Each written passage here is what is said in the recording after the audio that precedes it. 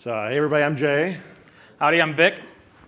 And we are here to, no, I'm kidding. Um, so basically, Google Cloud for the enterprise. Um, the title of the session, probably no big surprise. Um, Google's Cloud isn't necessarily always at the top of everybody's mind, right? There's a couple other providers you might be a little more familiar with on a day-to-day basis. They shall uh, not be named. Yes, which shall not be named. but don't confuse maybe lack of marketing uh, with lack of product. So that's what we're here to do today. Uh, since we only have 30 minutes, uh, what I want to do is split it into about 10, 15 minutes of telling you a little bit about what we've been doing beyond just compute network storage and kind of the tech bits you're used to. And I'm going to turn it over to the lovely Vic to show you a demo uh, that actually shows some of these kind of cooler networking features, some of the enterprisey things folks are looking for on Pivotal Cloud Foundry.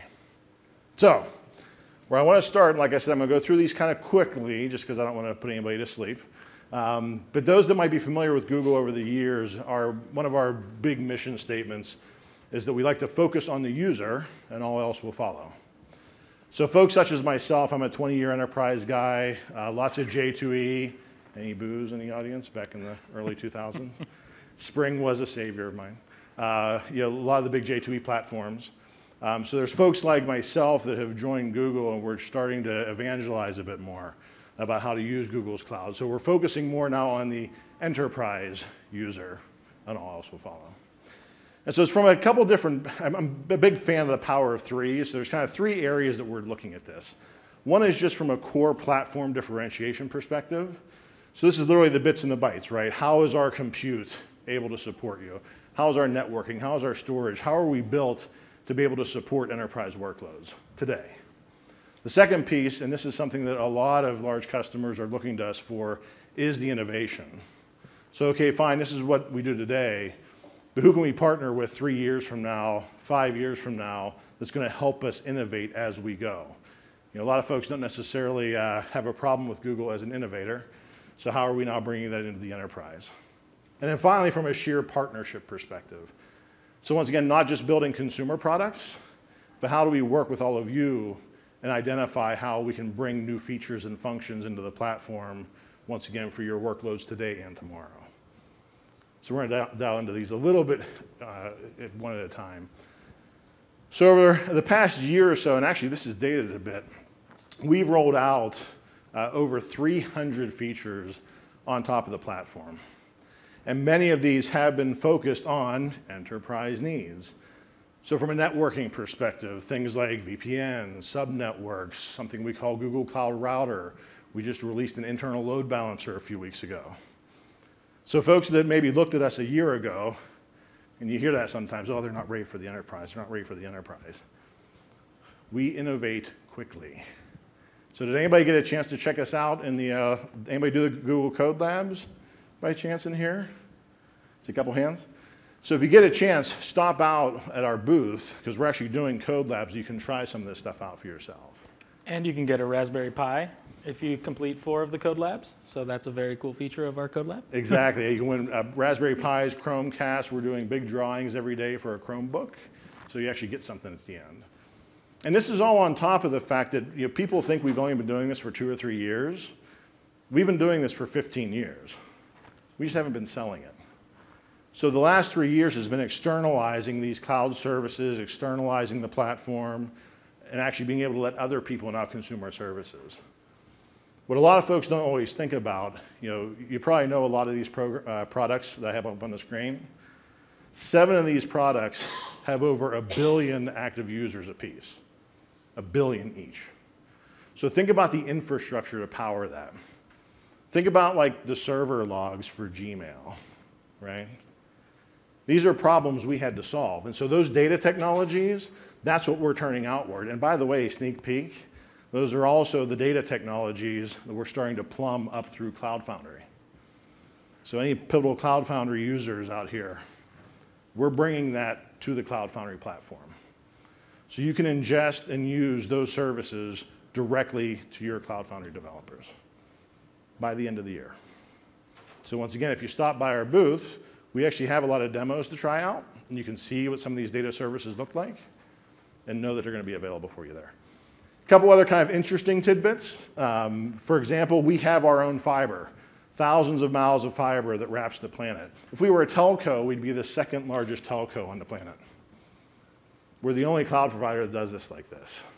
So for example, when you look at all of our edge locations, why this matters, particularly if you have a lot of large scale traffic, all of these edge locations, if there's a request that is destined for a Google resource and it hits one of these pops, we identify it, we suck that request in, it rides our backbone the rest of the way to the target.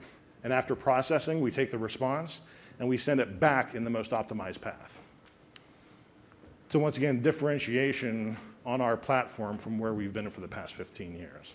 My, de- my demo will be showing kind of how you can tie these things together, a use case using Pivotal Cloud Foundry in order to leverage this network, which is really cool. yeah, it's an, and that's the global load balancer piece. I'll let him speak more to uh, during the demo, but hopefully you guys see, will see how this is starting to tie together. Now, from a pure innovation perspective, I mentioned before, you know, between 25 and 30 services now are what are on our platform. And we do compute, we do network, we do storage, all the things you're used to. We do it very well. Great price performance ratio, love to talk to you about it.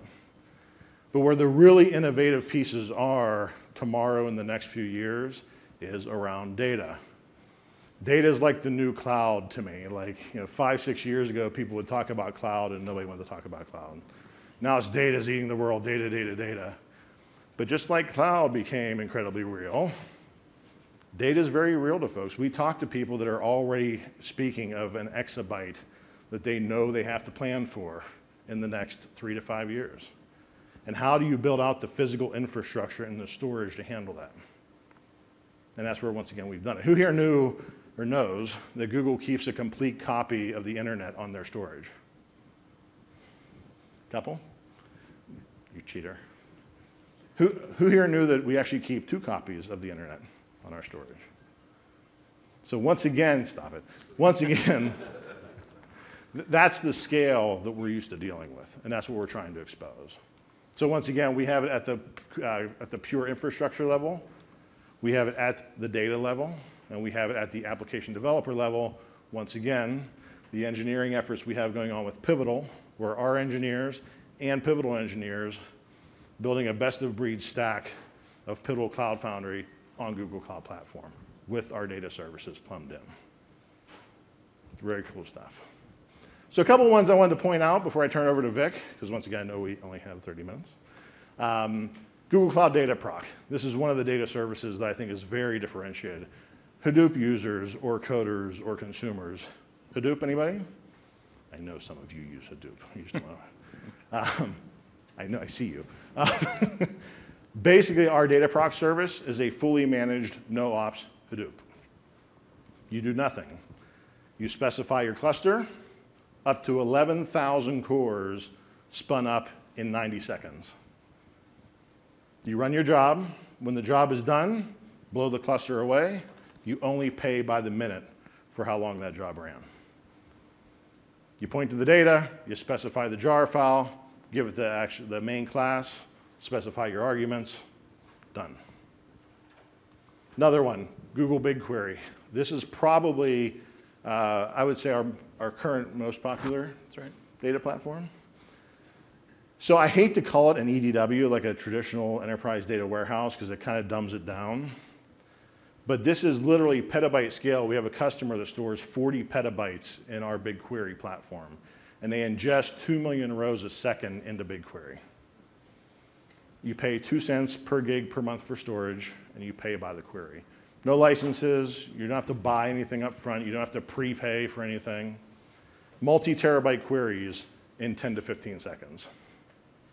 So just, once again, crazy scale.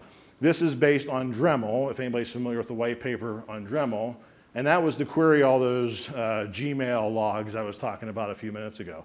This is where we've come from. We've had to solve Google problems. There were no products available to do this stuff. But now, once again, in 2016, we're externalizing all of those services, and that's where things like BigQuery come into play. So very, very cool stuff. And then TensorFlow. Anybody here familiar or heard of TensorFlow at least? Cool. So as this, the slide at least says, the number one repository for machine learning. But once again, this is for both training your models and for running your models. And our hosted version of this, which is going to be our cloud machine learning, we already have five different pre-trained models that you can literally access just via API right now. You can log into cloud.google.com. You can use our Vision API, which those of you that use Google Photos might know you can type in cat and it will show you all the pictures of your cat, right? Or somebody else's cat for that matter, if you have that for some reason. But also the speech API, so literally audio, uh, speech to text, the natural language API, and you can train your own models as well. So you can run TensorFlow in your private data center or run cloud machine learning on our cloud. From the partner perspective, so you know, there was a lot of noise last year whenever Diane Greene joined. Um, and I actually spent four years at VMware, so I'm very familiar with Diane's history there. And the one thing I always like to point out, because you know, people just say enterprise, enterprise, enterprise, but specifically with Diane, you know, we had this amazing piece of technology, vSphere, right? And what it did was completely abstract the underlying physical infrastructure. So you were relying on that little piece of software, especially today, for your most mission critical applications. What Diane operationalized at VMware was kind of understanding with large enterprise customers what was critical what were the check boxes? What were the things that you know, we had to do at VMware to be a trusted product for that kind of thing? To let you trust VMware and vSphere for those workloads. And that's exactly what she's doing now on GCP. So once again, we're known for innovation. We build great products. But that process of actually interacting with the customers, understanding what those needs are, all those networking things I mentioned, those weren't there a year ago. And that's why I told you before, if you tried us out a year ago, you might not think that we do networks and you know, private and public and all those kinds of things. They're all there now. Now, do we have everything? I'm sure if we pulled everybody in this room, we could find plenty of things that we're still working on, right? But that's the process, and that's the mind shift, and that's the change that we were doing to be more of an enterprise-focused cloud. And philosophically, one last thing before I turn it over to Vic. So open APIs and open source. This is absolutely central to what we're doing. So open source sometimes is just kind of a fun way for some people to think things are free, right? But the commitment to open source and the commitment to those communities is how you know how you have a trusted vendor in this space.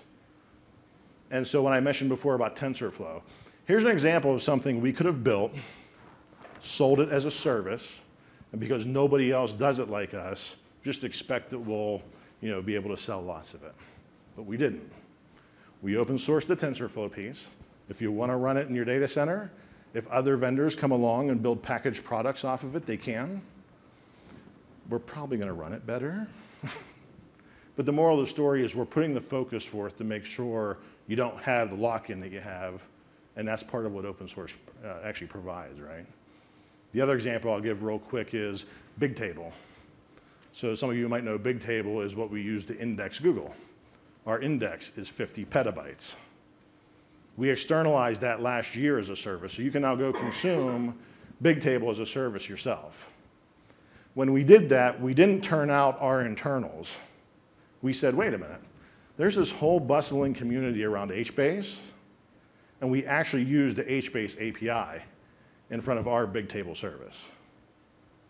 So those are a couple examples. There's a lot more. Obviously, we're here at SpringOne, and Vic's demo is around a Spring Boot app.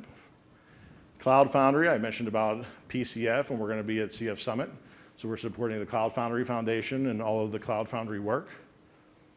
So once again, it's something we have actual engineering bodies and significant focus on in all product strategies. If it already exists, we will use that API. If we think we're breaking new ground, we will open source whatever we did. So especially for this kind of a conference, and once again, I've been a, a big Spring person myself since 2004 when I shot 480 EJBs in the head, long story. Um, I thought that might be something this community would appreciate as well. So that being the case, to tee up Vic, networking tends to be one of the biggest things that enterprises want to understand what my cloud provider is doing and can do for me. So there's basically four pillars here, okay? There's the virtual network space, which means how we carve up our networks. So we have our own SDN, which we've been doing since 2007, before SDN was cool. We have global networks out of the box, but then you can actually carve them down into subnetworks. From a control perspective, IAM. Once again, a year ago, you wouldn't have seen IAM on Google. Who here cares about IAM? You don't really have to raise your hand, but thank you, if some of you did. Um, everybody cares about IAM, right? Yes. Firewalls, once again, internal load balancers. From a global scale, that's probably kind of obvious. But what are those controls? What can I do at global scale? What protocols can I use at global scale? What about DNS at global scale? And then finally, hybrid. This, this actually, this subject, because of my time at VMware, is very near and dear to me. So feel free to grab me after this session or at the booth or if you see me on the floor. I love talking about all this stuff, but you know, hybrid is definitely one of the ones that gets very crazy very quick. But in teeing this up, I'm going to turn over to Vic, who's going to actually show you something cool. I figured you'd rather see him do stuff than me, so thanks, thanks for being and patient. I can definitely vouch Jay loves to talk, so fire away when Very you get nice. a chance. Um, so I'm going to show a demo today of a global Cloud Foundry deployment. So how many people have deployed Cloud Foundry before? Yes, lots of you. And you use BOSH? Yes, that's magical piece of software right there. Um, so what I'm going to show is basically tying multiple regions of Cloud Foundry together using our global HTTP load balancer. So the way this works is you get one uh, Anycast IP that you can use to route requests globally. So what we have is a global domain, app.gcp.solutions, and then that routes traffic to two deployments of Cloud Foundry, one in US Central and one in US East. Those also have their own wildcard domains in case maybe you wanted to deploy something only to Central or only to East. But if you wanted to make something global, you could deploy it uh, at the app.gcp.solutions um, tier. Um, so what the HTTP load balancer does is basically uh, recognizes where a request is coming from and then is able to route it to the closest region. So if you had you know, n regions, you would always get uh, responses from the closest region, but you don't have to do any crazy DNS tricks to get the request to the right place, which is really awesome. Um, I have not so crazy DNS tricks that I'll show you now. Um, so uh, I have this all on GitHub. Uh, the, the link is there. If you have any questions, I'm vicnastea on Twitter and viglesias at Google. Um, and I'll be around just like Jay if I can get him to stop talking. All right. So uh, let, us check out how this is set up. So basically, the first thing I have, uh, I have a domain with uh, Google domains. And uh, that's the gcp.solutions domain. And ha i have an A record that's doing the wildcard for the app domain to the single IP that is my global HTTP load balancer. Then from there, I'm delegating the subdomain .cf to uh, the Google Cloud DNS. When the BOSH deployments launch, they actually register themselves uh, with a DNS name uh, for like app, uh, sorry, API dot and login dot uh, to, to that domain, so all the requests can get there properly. So what does that look like? Let's go ahead and connect to a few regions here. So I have three VMs in three different regions, and I'm going to show them uh, getting to the right place, uh, quote unquote. So uh, here is the, the visualization of what you see when you uh, have a HTTP load balancer. And here you can see that I have requests coming in uh, from North America, and there's some uh, thousand-ish going to US Central. I have about 100 going to US East. and then my European traffic is going to US East because that's the closest um, Cloud Foundry deployment to them. Um, in Cloud DNS, I can show the configuration here. So I have a delegated zone.cf, and I have uh, two wildcard domains that are pointing to the uh, L3 load balancers for each of the, the Cloud Foundry regions. So I have uh, star.central.cf.gcp.solutions and star.east.cf.gcp.solutions. And those are each going to their respective uh, Cloud Foundry deployments. So you'll see over here, I have quite a bit of Cloud Foundry deployed. Um, you'll see all these beautiful cores being used uh, for my application. And I have uh, one uh, BOSH director per region. And then I also deployed one in Europe so that I could send requests from over there. So uh, the application that I have is, uh, you guys are going to love my ability to create Spring applications here. This is the actual Hello World from the getting started uh, with Spring. That was my first uh, initiation into it. Uh, I basically have an environment variable uh, in there that says which region uh, each of the, the apps is deployed to. And now let's go check out what it would look like, uh, for example, from US East. So if I curl, uh, my app is called Hello. If I curl that, my request coming, uh, being sent from US East is being received by the US East deployment. Similarly, uh, if I go to Europe, oops, and I curl the same thing. Uh, sorry, hello dot app dot gcp solutions. I again am coming from US East, and if my traffic was coming from US Central, if I can find that region, my traffic is being routed to uh, the proper region here as well. Now, just to, while he's doing this. So one, one of the things I didn't mention before, so I, I talked about being part of VMware. So I was part of the Cloud Foundry Spring team that spun out the Pivotal in 2013. So folks in the audience using Cloud Foundry, doing multi-region load balancing to CF. This is kind of cool, right? And with, in general, with Google's load balancer, just to give you an idea, so when I talked about the work that we're doing, and actually I'm going to embarrass Eric Johnson. He's in the second row there, and he's not even going to look. He's going to pretend I'm not pointing at him. He's in a blue shirt on the far right-hand side. That guy. Get him. Smiling a lot. him and his engineering team has actually done wonders with the Pivotal engineering team. And so things like the load balancer out of the box, when you deploy it on GCP, you're using the same load balancer that YouTube and Maps and Search uses. So once again, when I'm talking about enterprise and the ability to handle load, going from zero to a million QPS in under a second. You don't have to warm anything, you don't have to configure anything, it's just magic-ish, yeah, you know. So I just want to point that out while you were doing what you were doing, because it's something I want to make sure when you're watching what he's doing here contextually, it comes across. So I also wanted to show kind of the, the configuration of that HTTP load balancer. It's definitely one of my favorite features I've ever gotten to use, this like global notion, and really it brings that tech magic back to me for some reason. Uh, I just can't even believe that it's actually doing what it's doing. Um, the way you configure it is basically to have uh, several backends. Uh, so each HTTP load balancer can uh, uh, route requests to several backends. Uh, you could have requests routed based on the host or uh, a URL path or anything like that. I just uh, forward everything to these two backends. And you can say how much uh, capacity each backend can have. So you can also spill over traffic.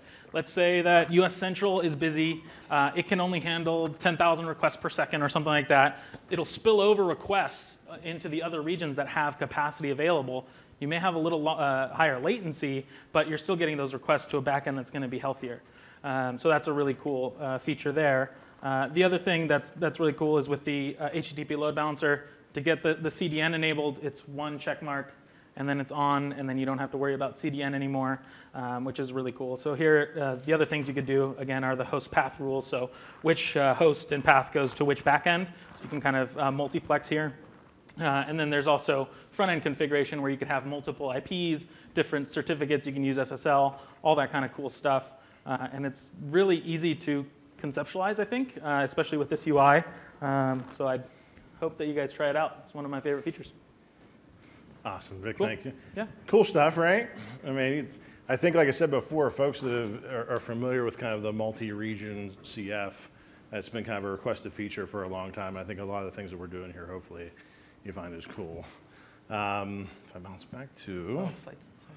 yeah. Oh, there. So one thing I did want to do, even though we were down to only 30 minutes, and I think we have about six minutes left, I did want to pimp out two more sessions. One, Eric, who I embarrassed a minute ago, everybody look at Eric. He's going to be doing a session with a good friend that I won't embarrass uh, tomorrow, uh, our friends at Home Depot. To actually, it's, we're calling it in the workshop because the intention is to show you all the nice blood and guts of what went into some earlier stage work. So it'll be kind of fun to see what they're doing, some code that's going to be shared, so on and so forth. So please come to that. Um, actually, I forgot to delete that second line because unfortunately Jesse was not able to make it. So ignore that second line. Uh, but we'll actually check, make sure you check out the Home Depot session tomorrow. So with five minutes left, would love to open it up for Q&A. Hard stuff for Vic, softballs for me. Any questions anybody want to shout out? Or do you want five minutes left? Oh, yes, sir. The?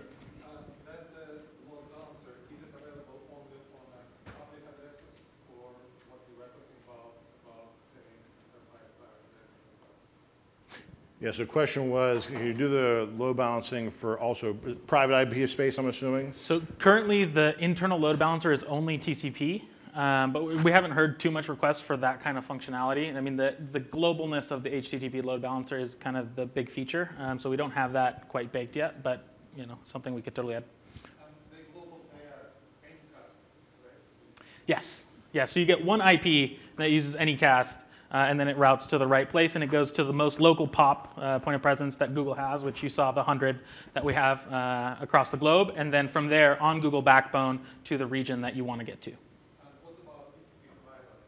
Is there any way to have them, you know, same kind of global distribution, have multiple connections to um, companies? Sorry, I don't understand the question. So, So uh, with, with Anycast, Mhm. global, Yeah. you can, you can do uh, routing to global yeah, route, like yeah. Uh, When you're talking about private uh, TCP-based hmm router or or load does it also have any capabilities? I I think it's per subnet, which are scoped to the region. Yeah. Uh, For the multi-region deployment that you showed, do you have any suggestions for what we can use for data services when we are running stateful app? And In other words, is there anything within cloud platform that allows for WAN replication or data synchronization? So we don't yet have the WAN replication. We only have multi-zone. Um, so you'd have to have uh, your, your data zonal, um, but cross-zone replicated. But the one thing I'll point out there is, and we've seen this multiple times, so I mentioned before about our fiber and about the ability Right. to actually push bits very quickly. What we have seen is, even though it's not automagical yet, in some services like Bigtable, for example, some of those are going to come a little bit sooner than others. Even for ones where you do have to set up the replication, being on our wire from region to region and Yeah. zone to zone, uh, we've heard very, very good results from a latency perspective. Yeah. But a lot of it is coming. And for SSL certificates, uh, you have that terminating at the uh, HTTPS load That's right. and then again at the individual. You could, if that's, if that's what you wanted to do, yeah. Uh, Someone's looking at their watch, so we might have time for one or two more questions. Uh-oh, back over in the corner. Uh, quick question, so, uh, in that load balancer to Cloud Foundry, do you do host translation? That's right. type of translation? Yeah.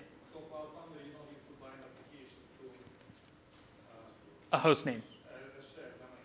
You do have to bind it to a shared domain, um, at least in this, this way that it's configured. I don't have the depth of knowledge on BOSH configurations yet uh, to be able to do anything different, but I'm sure there are people in the room that can help me with my BOSH config.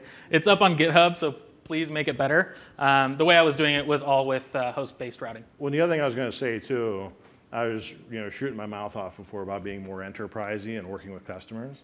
So if you want, whether it's after this session or once again find me at the booth, we can sit down and talk about what the use case is. Because uh, to Vic's point, you know, a very wise person a long time ago pointed out to me the first part of the word customer is custom.